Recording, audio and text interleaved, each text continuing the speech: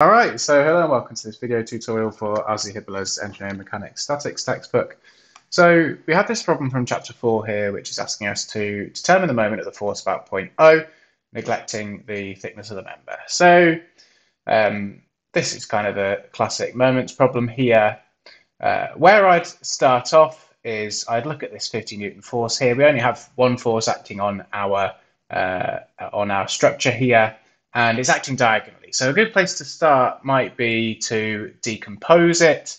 Um, we can do that using this kind of vector decomposition idea that I've shown in the top right here.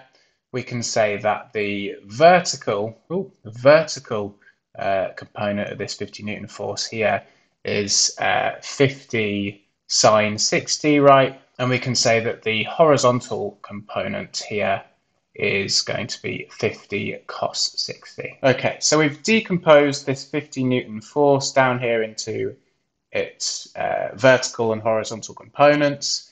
We might want to consider now then, well, how are these individual components, the vertical and horizontal components here, enacting moments about point O, right?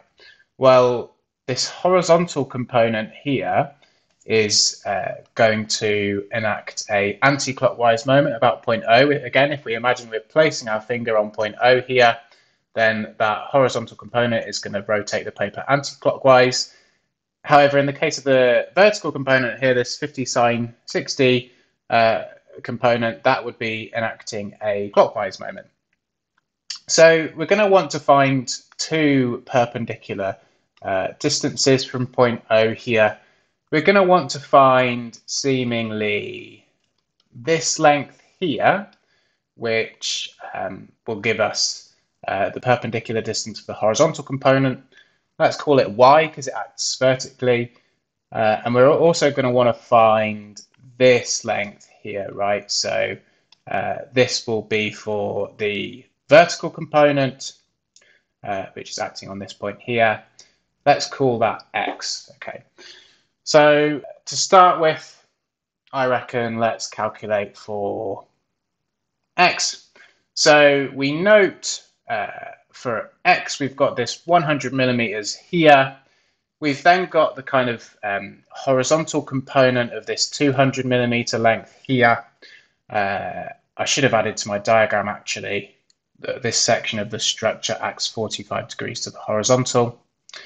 And we've got this, this final kind of 100 millimeters here. So we could say then uh, that our length x is equal to that 100 millimeters plus the horizontal component of this 200 millimeter length here, which we could describe as 200 cos 45 here.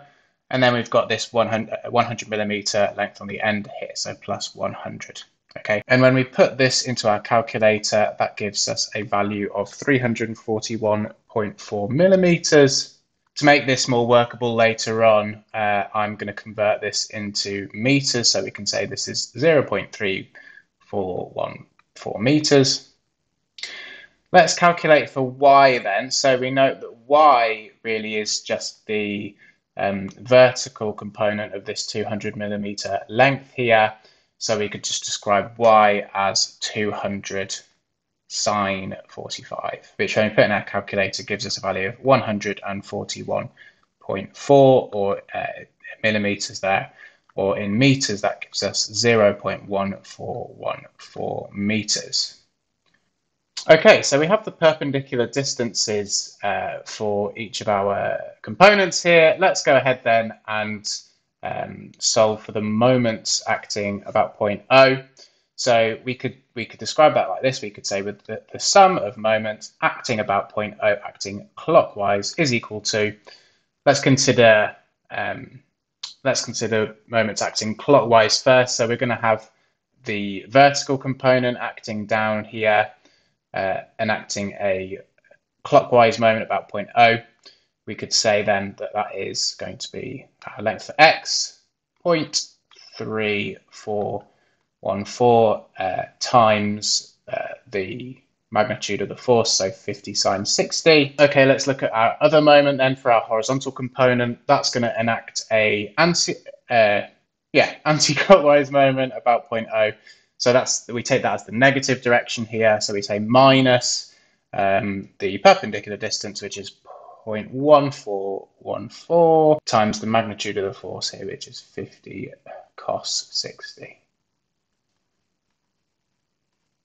So we can take this sum here, and when we bung this into our calculator, it gives us a value of 11.25 newton meters. And that's our solution there. So uh, if you have any questions or comments about that problem, please feel free to leave them down in the comment section down below. Otherwise, thank you very much for watching.